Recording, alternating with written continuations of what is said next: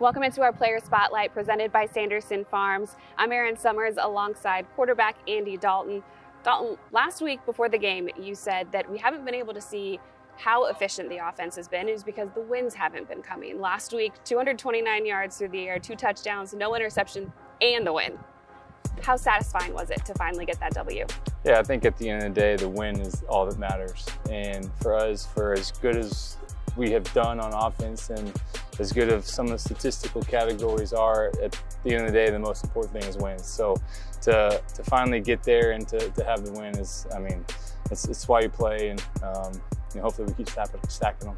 How have you been able to develop that rhythm with the offense? Yeah, I think it's just, uh, it comes with time and, and, just the chemistry that we've built. And I think our guys are, um, you know, doing exactly what we're, what we've been coached to do and, uh, you know, playing together as a unit.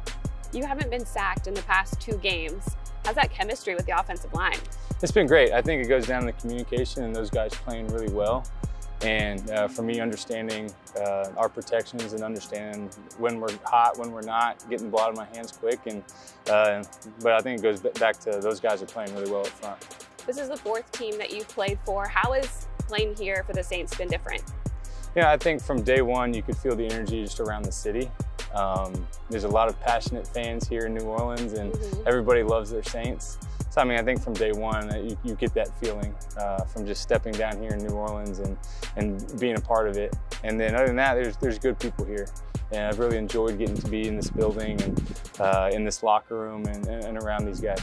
Speaking of the fans, it's a Monday night football game, prime time. I'm sure the dome is going to be rocking. How excited are you about playing in that game? Yeah, I, mean, I expect the atmosphere to be great and uh, it's been great this whole year. And uh, you add the Monday Night Football, um, you know, prime time aspect to it, and I think it's going to be a, uh, it's going to be a, a, really good atmosphere for us. All right, before I let you go, I have to ask you, where did your nickname come from, the Red Rifle?